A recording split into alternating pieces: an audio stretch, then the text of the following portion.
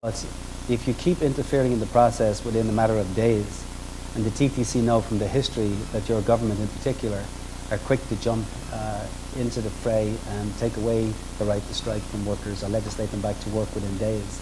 Why, what's the incentive for the TTC to sit down and sort out that problem? None whatsoever. There's no incentive for them to bargain.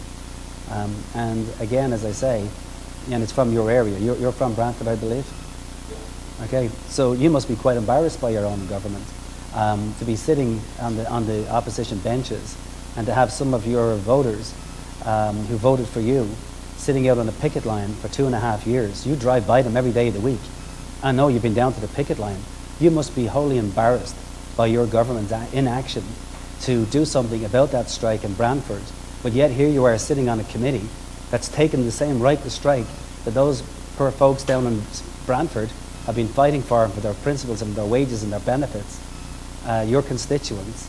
And here you are sitting wanting to take the right to strike off of 10,000 workers.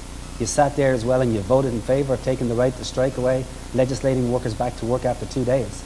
But after two and a half years of your own constituents being out on strike, you can't even convince your colleagues sitting either side of you and those around your back benches, you can't convince them that maybe they should intervene and end that strike. Or maybe they should give them some degree of legislation where we stop the scabs going into the plant that's in, yours, in, your, in your riding, day in and day out. I'm not asking you that. I'm asking you, you ought to be embarrassed. I want to hear you say you're ashamed of, of those who sit on the benches with you, that you allow workers for two and a half years to be exploited, to be taken advantage of, because of the lax labour laws in this province, that your government hasn't got the guts to stand up and say, you know what, this is wrong. Workers should not be taken advantage of like this in this community, anywhere in this province.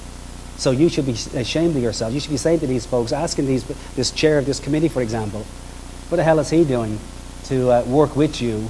You keep on saying you're working with your colleagues. Well, when are you going to get some results and maybe get those people back to work? Yeah, thank you.